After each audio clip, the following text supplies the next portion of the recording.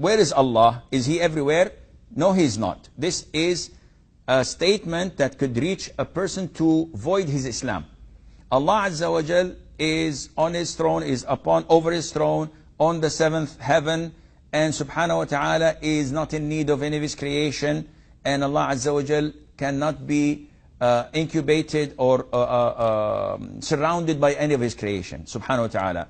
Allah was there and there was nothing created, Subhanahu wa Ta'ala. He does not need anything.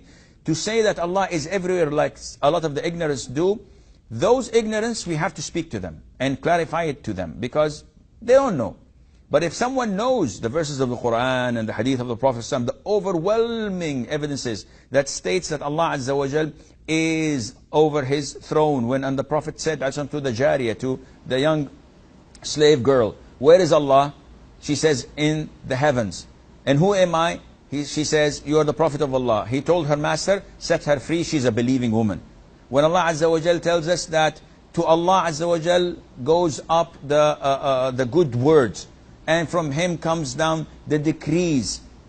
Uh, when we say Subhana Rabbi al-A'la, all of these tell you, and when the angels descend from uh, uh, the heavens and they go up to the heavens and Allah Azza wa Jal is on top of all of that.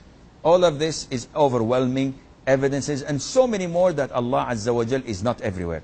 And those who say everywhere, Allah is everywhere, yeah, think for a while.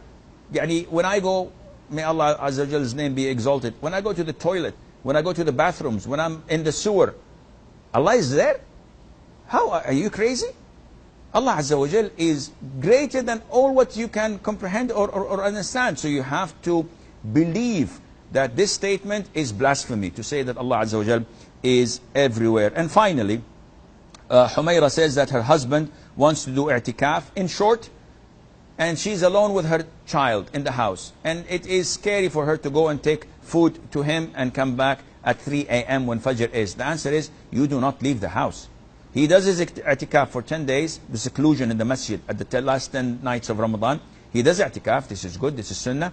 And he's allowed to come out to answer the call of nature, to, to, to have a, meal, to take a shower and go back. But he does not socialize and sit and talk and chit-chat. He does what he needs to do and go back to the masjid without any form of intimacy.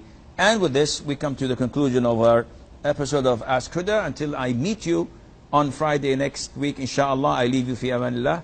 Wassalamu alaikum wa rahmatullahi wa barakatuh.